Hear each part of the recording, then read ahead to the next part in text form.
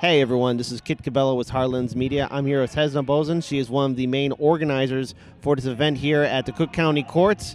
Uh, this is in regards to bail bond and reform here in Cook County and the city of Chicago. So essentially, this is probably a huge historic event. You have Sen- Illinois State Senator Daniel Biss uh, standing in solidarity with uh, some of your fellow protesters that are inside that building. Uh, essentially, what is happening? What causes protests to start in the first place? I mean, injustice. That's what causes uh, protests to happen. And the thing is that Daniel Biss, he's not just standing in solidarity, he's risking arrest right now by sitting in the lobby of Cook County Courthouse. So, um, when we look at this uh, injustice, uh, what's really impacting uh, working class families, people of color, especially when they uh, get unfortunately arrested and put behind bars? Um, what what's the uh, process in which uh, they have to get out? I mean, is the system fair? I think our viewers and subscribers want to know really what kind of reforms are really needed to really bring justice.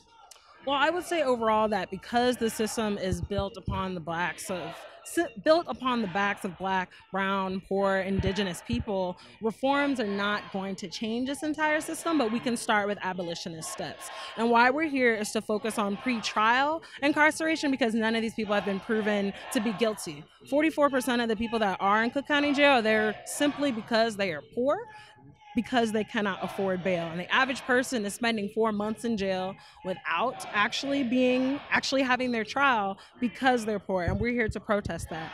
And End Money Bond is interesting because this is a campaign that's existed for about two years. And which what's interesting about it is that we already have an executive order that says judges should not be giving people bails that they cannot afford. So this is an escalation on them and to show that there are people willing to risk arrest for people that are in jail because they're poor and before trial.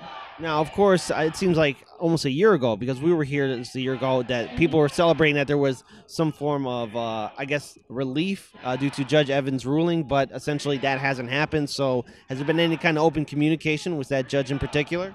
I mean, definitely. We've tried to meet with Chief Justice Evans more than once. And the thing is, why we are having this protest, it's not just to be out here and say, you know, don't contribute to the prison industrial complex in Cook County. It's to say that if you were a chief judge, right, and you cannot hold your judges accountable, yeah, we have to vote them out, but also what do you do? What is judicial accountability? These are questions and conversations that we need to have before the election, and we've been on this for two years.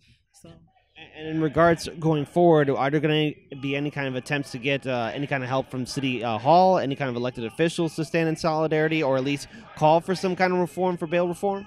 I mean, we certainly have. I mean, End Money Bond is specific because what are the Chicago aldermen going to do other than talk about it? Ultimately, this is the judicial branch that we're talking about. You know, we talk about President Trump doing these things, we talk about Rahm doing these things, we even talk about the sheriff's office profiting off of this. But what's leaving, what's left out of the conversation is these judges. We think of them as neutral people that are just supposed to enforce the law, and the people that are in there right now are not enforcing the law, and they haven't been for a year. Tim Evans has ignored our meetings, has rescheduled each time. We've also reached out out to the um, to the public defender to speak up more in court about people getting these accessible bonds. It's a two-way street, and we've done more than enough trying to interact with all these different people that are complicit to having this keep happening.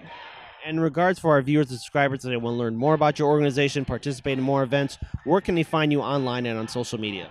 Sure. So you can follow us on Twitter. We're Soul in Chicago. Um, we also have a site, Soul in Chicago. We're also active on Facebook. Thank you so much for joining Hard Lens Media. This is Kit, everyone. Peace.